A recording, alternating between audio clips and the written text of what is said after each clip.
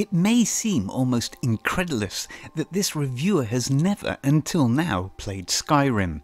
As viewers who have watched some of the other videos on this channel will note, many of the games reviewed and talked about are role-playing games, and in the past this reviewer has made it very clear that he holds Fallout 4 in high regard for it seemed that as many times as I had started and completely played Fallout 4 all the way through, including the Far Harbor and Nuka World expansions, was as many times as I started Skyrim and simply stopped playing.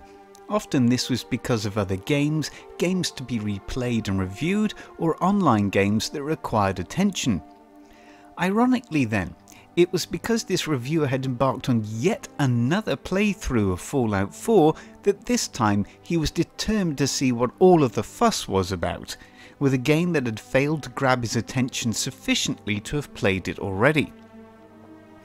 Perhaps the problem had been the way that both games begin.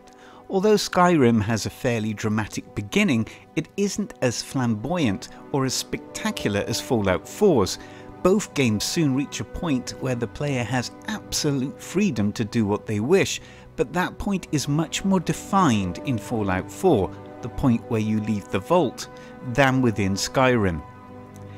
This point in the game though proved to be the key that opened the door to Skyrim for this reviewer, as after so many playthroughs having become accustomed to exploring in Fallout 4, this time around, that exploration and true sense of freedom that is inherent in all of the best single player role playing games, such as Dragon Age and The Witcher 3, opened up what can only be described as one of the most extraordinary gaming experiences you can play.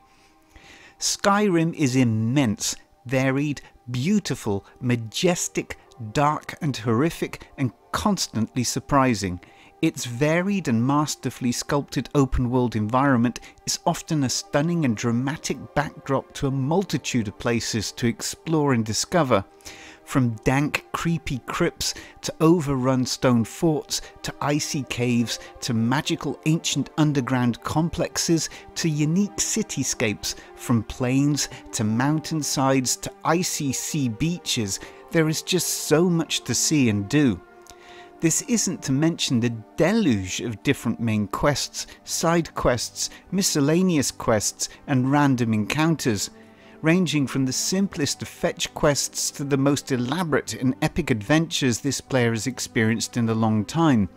Many of the game's best moments are against spectacular level design ideas. Of course, Skyrim is starting to look graphically dated, but the special edition has done a lot to bring the game close to the quality of Fallout 4. It isn't quite as sharp in fidelity, but it still manages to convey its more majestic level design ideas well. Character models are very well animated, but their appearance isn't the best you will find. Gameplay is solid enough, Combat is extremely flexible and varied. There are no restrictions to what you wield or how you equip your character, as there are no character classes. Instead, an intriguing skill system allows you to develop those skills and abilities you use the most faster than others.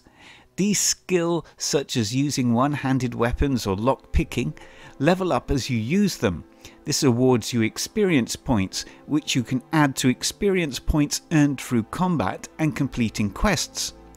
Once you have enough experience points, you level up and are able to improve one of your core stats, magic, health, or stamina, and also to choose a perk from a range of skills, many of which you will have been improving. This allows players to tailor their character builds to reflect their favourite way to approach gameplay. Of course, no game is perfect, and one of Skyrim's biggest inherent problems is with the scripting of companion AI that you will be able to acquire in the game. Due to the varied and often rugged terrain of Skyrim, AI often gets stuck or are unable to follow you. This means that you may, like this player, begin to adjust your approach to traversal in new areas. So for example, instead of leaving a road and clambering down a mountainside, checking whether the AI is actually following you and perhaps just sticking to the road.